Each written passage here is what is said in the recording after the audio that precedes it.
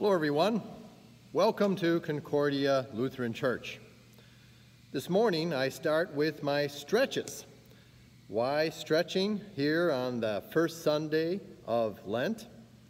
Well, on the first Sunday of Lent, we talk about, in all three years, the temptation of Christ when he's driven out by the Holy Spirit into the desert for 40 days of fasting and prayer, and he is tempted by Satan.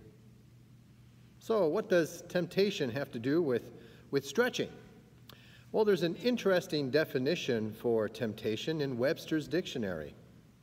One of the definitions offered is temptation is to test your strength. Another is to stretch.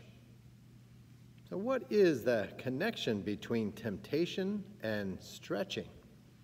Well, that's pretty interesting, I would think as we explore the three temptations of Christ, which I would think for most of us are not really temptations turning stone into bread, world rule, leaping off of a tall building to walk on air.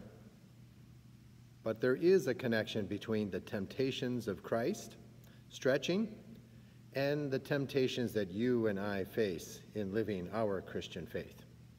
So, Tune in this Sunday and let's stretch the, our efforts to find the solution. Bye now.